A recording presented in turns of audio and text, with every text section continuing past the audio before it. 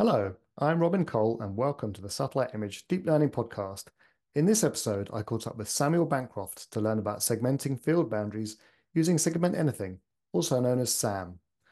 SAM is a foundational model for vision released by Meta, which is capable of zero-shot segmentation. However, there are many open questions about how to make use of SAM with remote sensing imagery. In this conversation, Samuel describes how he used SAM to perform segmentation of field boundaries with Sentinel-2 imagery over the UK. His best results were obtained not by fine-tuning SAM, but by carefully pre-processing a time series of images into HSV color space and using SAM without any modifications. This is a surprising result, and using this kind of approach significantly reduces the amount of work necessary to develop useful remote sensing applications utilizing SAM. I hope you enjoy this episode. Hi, Sam. Welcome to the podcast. Hiya. Thanks for inviting me. It's my pleasure. Let's begin with where you work and what you do.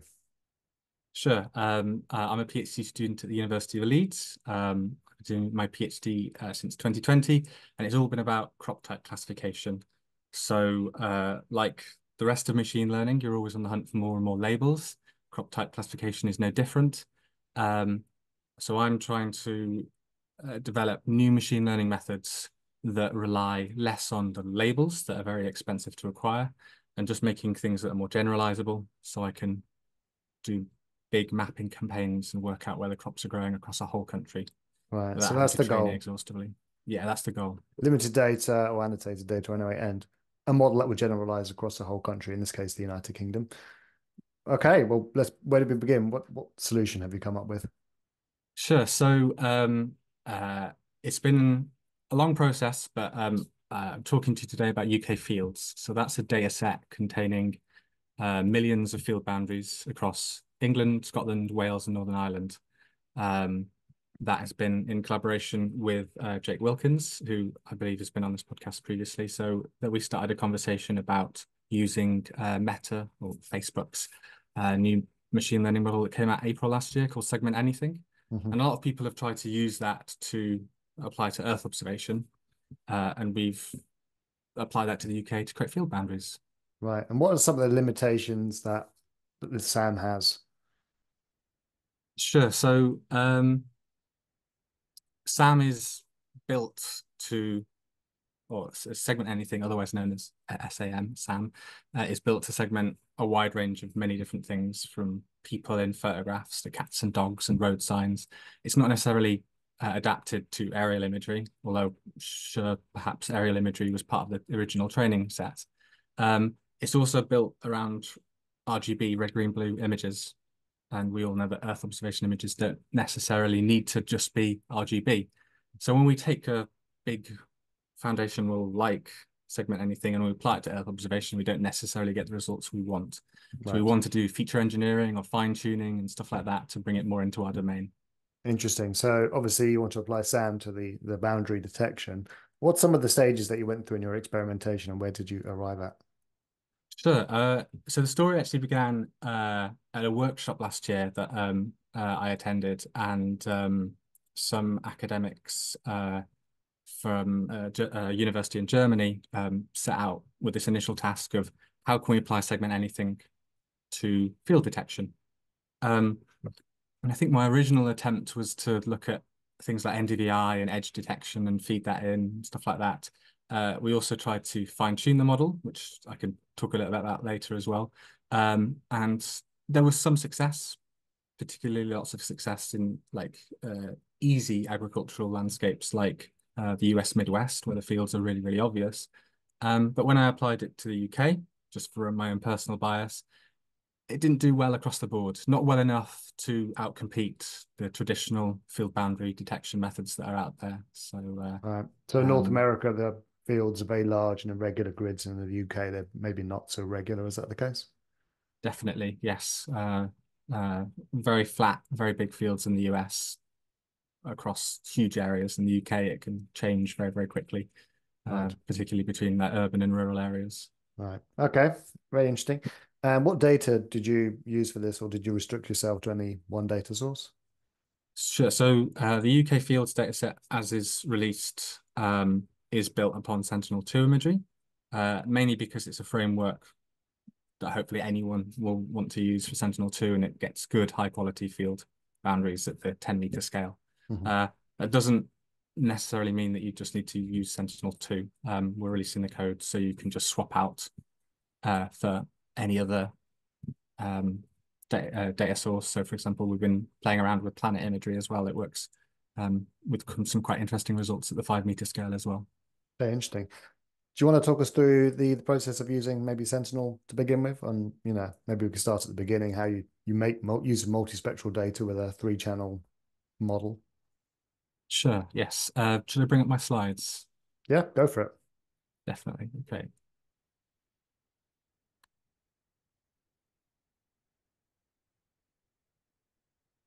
All right, so to begin with, the uh, uh, solution to how to make UK fields work consistently across the whole country uh, very much uh, lies on making harmonic composites. Uh, now, this isn't a completely fresh idea. Harmonic composites have existed, existed a long, long time uh, for a variety of different reasons. I've used um, harmonics to do crop type classification in an unsupervised way, so using no labels whatsoever, trying to identify dis uh, distinct different crop types automatically. Um, and you can do this in Google Earth Engine relatively easily. Um, and other people, no doubt, have been using this with their own field delineation algorithms. Just to um, clarify but, for the readers, uh, the listeners, sorry, the the harmonics are fitted to a time series essentially. Yes. So um, what you're looking at here is a little bit of a kaleidoscopic image but it's representing um, a time series of images. And how that's mm-hmm. done uh, is it's taking a vegetation index, in this case NDVI, across a 12-month growing period, um, and it's taking and it's fitting a harmonic model to that time series. And from that harmonic model, from each pixel, you can get the phase, the amplitude, and the the mean NDVI um, of that particular pixel. Uh, and we map that to the HSV hue saturation value color space. So uh, the phase, because it's cyclical, um, can be the hue, um, saturation can be the amplitude, and value can be the uh, the mean NDVI. And once you put that and encode that as this kind of static image here, you get loads of different colors, right? Um, and the hope is that something like this is much more uh, easily interpretable by segment anything um, than uh, median RGB composites just in yeah. the normal way. At a high level, we can see there's the boundaries are quite quite clear there. I suppose for at any one time, just an RGB, the boundaries wouldn't be quite so clear. Uh, yes, yeah, no, definitely. Right. Um, there's a few good examples about uh, just using an RGB composite and comparing it to this and seeing the accuracy jump up a little bit. So what we did actually is we tested um, segment anything just with normal color imagery compared to the harmonic approach, and it bumps up the uh, what's known as the uh, uh, dice score, which is a nice accuracy metric. It just bumps it up by like 0.2 on uh, on average, so a significant improvement basically. Um, mm -hmm. So it mm-hmm. really does uh, fix a lot of the problems with a few of the odd fields that don't get segmented properly.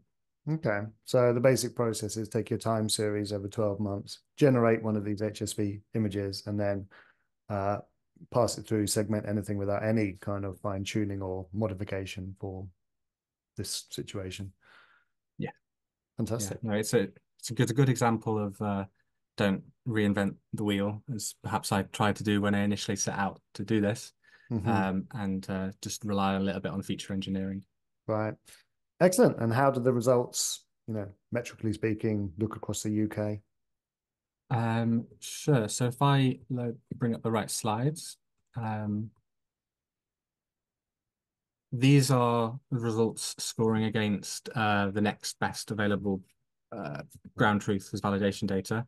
So um, we've taken our UK fields data set, uh, we've split it up into the grid cells and worked out the average um, dice score intersection over union, under segmentation and over segmentation rates um, compared to the Ordnance Survey. So that's the National Mapping Agency, government agency for the uh, the UK. We've compared mm -hmm. that to the fields in the MasterMap data set that they've got available. Mm -hmm. um, so um, for those thinking about harmonic composites already, you'll notice that uh, the fields that are strongly agricultural, that are growing crops, that have very distinct growing curves, will do very, very nicely in a harmonic composite. And you can see that reflected here. You can see the East Coast, uh, big growing regions of the UK get very nice scores, so you know, 0.7, 0.8 dice score, which is really, really good. Mm-hmm. Um, when you get to uh, uh, non-agricultural areas like Scottish Highlands or where there's not many crops grown, for example, Cumbria, uh, it doesn't do so well. Um, but um, the the hope is UK fields. Uh, it's releasing so many agricultural fields. You're not really very interested in fields um, in non non-agricultural areas, right? So when we release the data set, there won't be um, fields over the Scottish Highlands. Um, and I don't think anyone's necessarily too going to be too worried about the, the lack of them. Yeah, uh, makes a lot of sense. Um, fantastic. Do you want to dive into a few more of the details around uh, maybe the pre and the, the pre-processing? Uh, I think you had a couple of extra Definitely, there. yes. Yeah. Um, I, I should say um, releasing this kind of data set is probably born out a lot of frustration in my PhD when I had tried to get my hands on field data very easily. Um, there's a few offerings in the UK that, that, you can make use of, but sometimes they're paywalled or the methods aren't very easy to uh, to work out mm -hmm. compared to uh, other countries in mainland Europe, which is much, much easier to get hold of more timely data. Mm -hmm. uh, and I told myself, if I ever made the field boundaries myself for my own research, I'd make it available so people didn't wouldn't have to go through the the same old slog to to get mm -hmm. the same mm-hmm. data. So the ultimate aim of this is yes, so other researchers can look at fields over the UK, but by releasing the code as well, we're hoping that other people create more field boundaries over loads of other regions all across the world. So it's right. just a single line import in Google Earth Engine, and suddenly you've got your fields to work with. Um, because this kind of data is just a stepping stone for next further bits of analysis that you need to do. Mm -hmm. um, so that's an important thing that hopefully uh, releasing this will make a big difference. Um, there's also a few like quality, uh, useful features in the code release that um, hope people can make some good use of. Um, we could have released the code and just told you how to segment different tiles because you've got to, if you're mapping the whole UK, right, you've got to chip it up into lots of different uh, adjacent areas and do your results.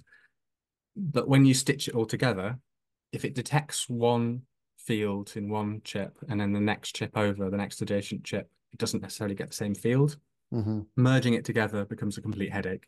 Mm. So what we've got here is uh, what we first do in Google Earth Engine is we export overlapping chips, probably about 10% either side. Uh, we do that in an overlapping fashion um, such that we can merge them together later.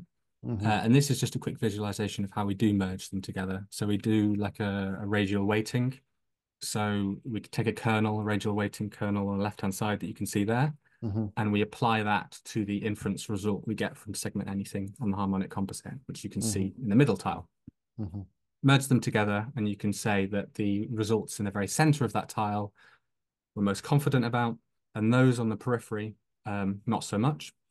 And then when we stitch together all the overlapping ones, so if we go left to right here, we take the first tile, weight it, apply it to the next weighted tile, and then the next one, and then the next one. And it just builds up the weighted average, right? Such that if you take all of the, the weightings, you add them all together, then you binarize it at the end, it just means that there's no ugly discontinuities between the different tiles and uh, mm -hmm.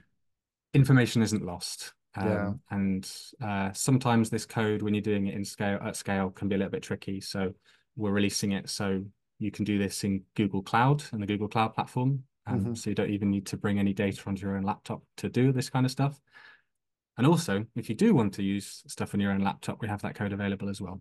Right. Okay. Uh, I'm not too familiar with how that would work on Google. Uh, you just give it the function and or an API access yeah, and there's also some very useful GDAL commands, um, but uh, uh, it, it, it, it, it, took me a long time to to get it all in the right place and working. Um, the right incantation. So yeah. yes. Uh, awesome. That's that's an amazing result and some really nice technology built around it to make it very practical for use. Um, I'm also interested a bit in the paths that you went down that didn't work out. You mentioned uh, fine tuning of SAM. This is something that sort of people have talked about doing, but nobody's really sure how to do. Do you mind talking a bit about that?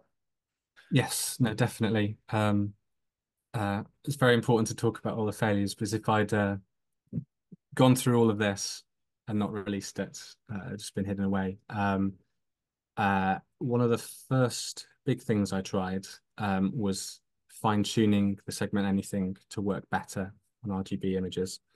And I was inspired by, um, I think it was called MedSam. So it was segment anything fine tuned against medical images.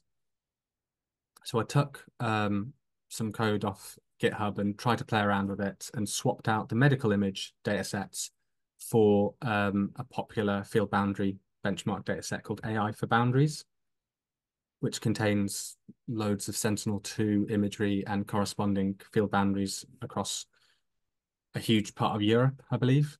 Um, and I fine-tuned that. Um, and at, first I thought I was getting better results, but uh, this is also, it was very much just a, a pet project in the background. I was training for many hours at a time, using a lot of GPU time, just playing around with this. Mm -hmm. um, but the end result was no matter what type of model I use, there's three different versions of segment anything with different numbers of parameters. Uh, no matter what I tried, it didn't it didn't properly uh, bump up the accuracy in any meaningful way. In many cases, right. it made it worse.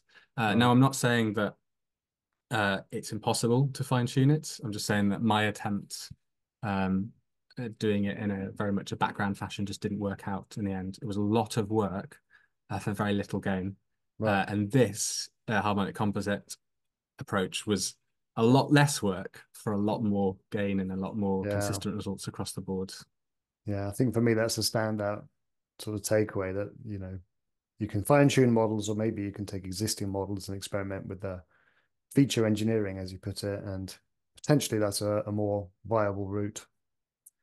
Yeah, definitely. Sometimes there comes a point where if you've got something that works, just just got to release it. You've got to make sure that other people can build on that as well. Uh, really exciting stuff. Uh, I think on your last slide you've got the GitHub link. Maybe we just uh, put that one up and um, then we can just say, okay, so everything's being published at the moment. Uh, you're finishing your PhD now. Uh, what's what's uh, next for you, and what, what are your ambitions after having done this? Uh, so uh, I came into my PhD from industry, uh, and very much at the end of my PhD, I'll be looking to return to industry. Um, I'm all about agriculture, Earth observation, machine learning, so I'll be looking for um, a, a, job in those kind of uh, fields very soon. Um, my PhD fin uh, finishes at the end of October. That's October 24, so only a few months away. Exciting. And if people want to follow along your your updates, which is the best platform for that? Uh, best uh, way to uh, be best informed when this is all released is to look at my Twitter. So that's at Spiruel. Okay. Fantastic. Once again, thank you. Uh, fascinating conversation and all the best for the write up. And hopefully, we'll hear from you again in the future. Lovely. Thank you very much for your time, Robin. Bye. Cheers.